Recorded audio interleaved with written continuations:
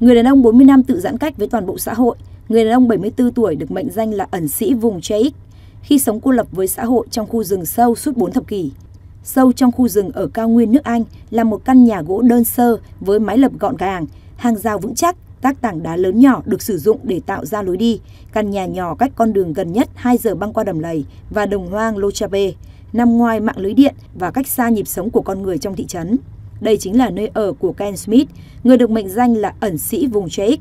Khi sống cô lập với xã hội suốt gần 40 năm bên bờ hồ Loch Cheik ở Lochabe, cao nguyên Scotland, Vương quốc Anh.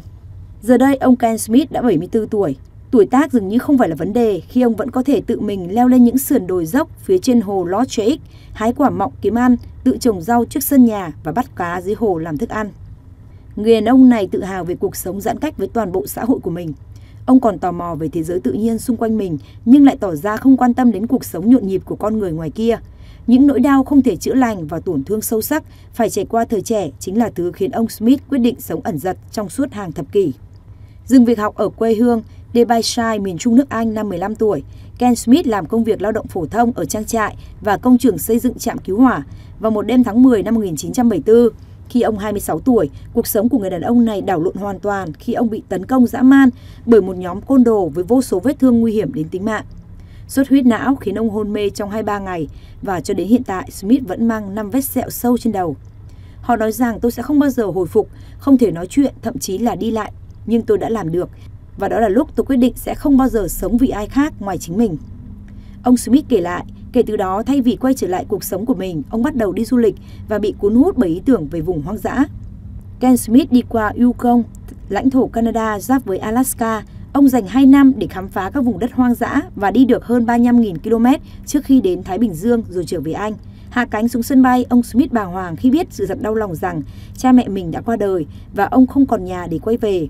Bị nhấn chìm trong biển đau buồn, Smith vượt qua bằng cách đứng dậy một lần nữa, bắt đầu đi bộ dọc nước Anh. Tôi đã khóc suốt quãng đường đi bộ khi nghĩ về cha mẹ mình.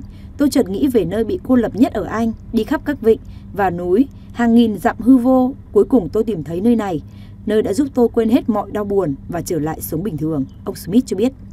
Trong hàng chục năm, ông tự đi lượm củi để đun nước trong bồn tắm cũ để vệ sinh cá nhân và giặt quần áo.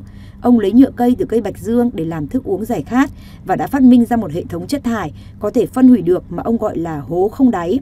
Kể từ khi định cư ở đây vào năm 1984, ở độ tuổi ngoài 30, mối liên hệ chính của người đàn ông tự giãn cách xã hội 40 năm với thế giới bên ngoài là các đài phát sóng địa phương. Ông không có điện thoại và cũng không muốn có. Mỗi tháng một lần, ông Smith dậy lúc 4 giờ sáng để đi bộ vài tiếng đồng hồ dọc theo đường dây xe lửa đến nhà ga gần nhất tại Korua, Sau đó thực hiện hành trình một giờ đến pháo đài William để chất đầy chiếc ba lô của mình với đồ dự trữ và vật tư y tế cho vài tuần.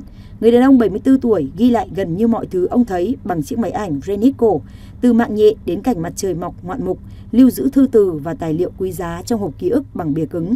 Cuộc sống tách biệt với xã hội nghe có vẻ đáng mơ ước, nhưng đôi khi Ken Smith cũng rơi vào những tình huống đe dọa tính mạng, đặc biệt khi người đàn ông này đã ở độ tuổi gần đất xa trời.